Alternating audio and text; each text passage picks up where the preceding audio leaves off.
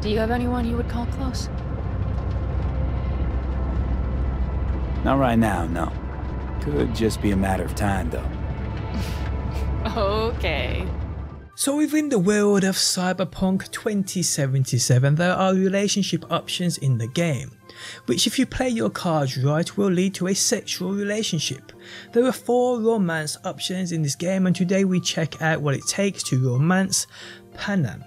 How's it going guys, my name's DPJ and if you enjoyed this video leaving a like really helps out and if you like what you see and want to see more Cyberpunk videos be sure to subscribe.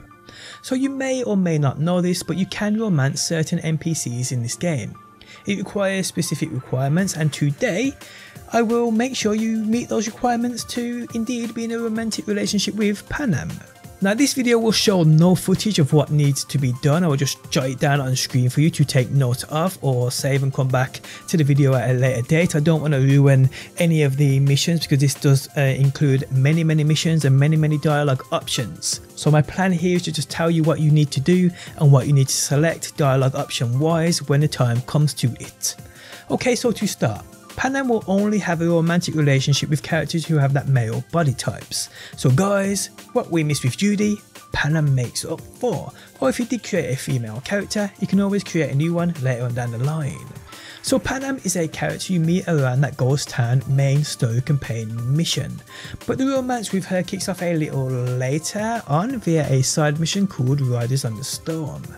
This opens up via a call from Panam to you 12 in-game hours after you complete the campaign story quest mission of Life During Wartime. The Life During Wartime is I think the 11th mission after you complete the prologue to this game.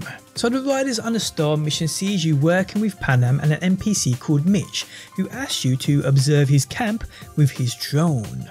The next step in this side mission will be for you to take a van to the Raffen Shiv camp.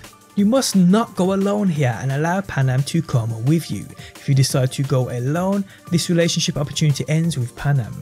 Also, if you do allow Panam to drive with you to this camp, but you move outside of the side quest after she throws you out of the car, if you don't rejoin her within 24 hours in game time, again, this is done so allow her to drive with you and go straight to that Raffen Shiv camp.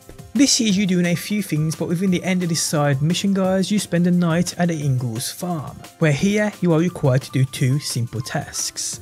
Now during your night here within the Ingalls farm you have the opportunity to flirt with Panam. Make sure you fulfill the following two requirements. Invite her to make herself more comfortable and take her shoes off. Then follow up by saying you have a few ideas. Missing this people eliminates the chance to get into a relationship with Panam. But it doesn't end there guys, this relationship requires much more.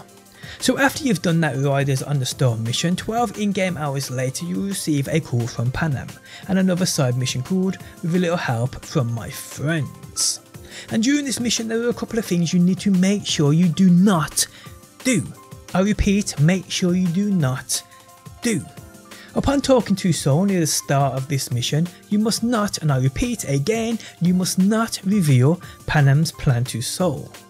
If you do, all ties are cut and the relationship with Panam is over. Also guys, a moment will come within this mission where you are at a junction with Panam and you're in a conversation with her. She will ask you why you are helping her out. And for the love of everything, do not imply you are doing it for the money. And from here you are good to continue with the mission. So once you are done with this mission, you then need to wait another 24 hours in game time for the next and final step.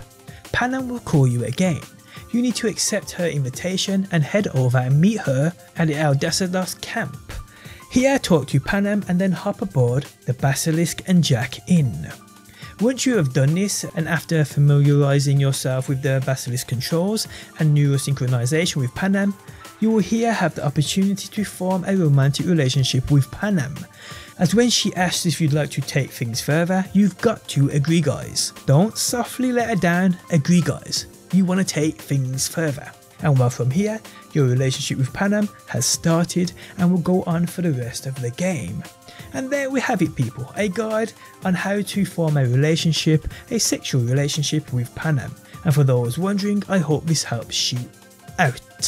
Now guys, if you're new to my channel and want to see more Cyberpunk videos, everything from guides, glitches, exploits, gameplay, you name it, I will cover it. Why not just check out my channel, click on my name, if you like what you see, just subscribe. If not, please drop a like on this video, it really helps me out.